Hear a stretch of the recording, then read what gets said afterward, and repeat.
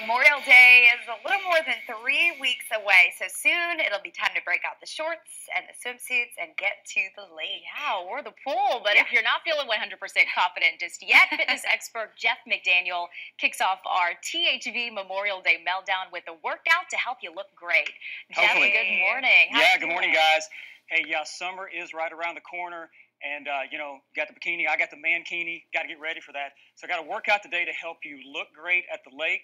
Uh, quick note I want to make to all the viewers is the fastest way to change the look and appearance of your body is to work your shoulders and glutes. They're the biggest muscle groups you have, and they will help you burn fat throughout the rest of your body.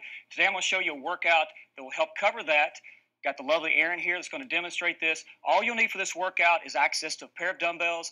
8 to 15 pounds is a good weight range for the ladies. Guys can rock this out with a 20 to 25 pound bell. So I'm going to have her first stand right here and step back as far as she can with her back leg and really get a good base of support with this back foot. She's going to hinge slightly at the hip so she has a nice flat back. And because there's very little bend in the knee, it's safe on the knee, but really hits up the hamstrings and hips. And from here, she's just going to perform a row and pause for a count to really hit up these upper back, mid shoulder muscles. Notice that arms at 90 degrees, not any more than that. She's then going to lower down, step through with the hips, step back with the other leg, and repeat. Now, here's what I want you to do two straight minutes, as many reps you can of quality reps, alternating legs each side.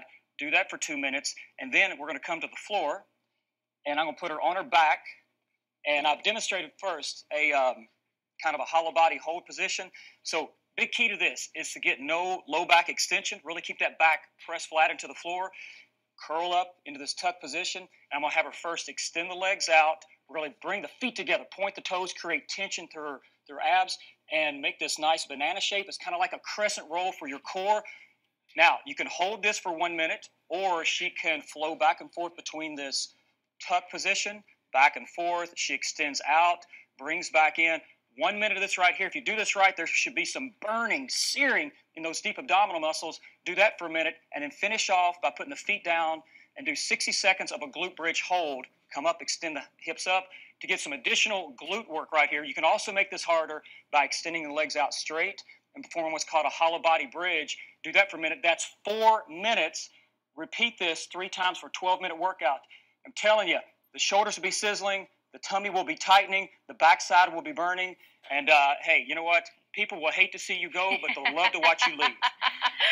oh, you went there. You went there. Okay, what's really cool about this, Jeff, and I think helpful for a lot of people mm-hmm. is that it's low impact because Yes. that's what that's what hurts when you're working out, right? Exactly. Low impact, safe on the joints, but it hits the, the areas that you want, which is the shoulders and the hips, which makes this mm-hmm. look smaller.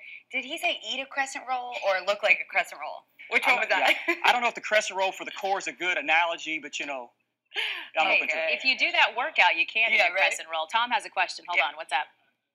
You hear me, Jeff? Yeah, can. you're, You, you're you still need a couple of dumbbells. Lance and I are willing to come over and help you out. But um, Tom, come on over here. Next time we got to demonstrate this. I got to work out just for Give me you. Tom. In his mankini, I guess. uh, Ooh. Jeff McDaniel helping us out this morning. Thank you so much. We appreciate it. Fast Fit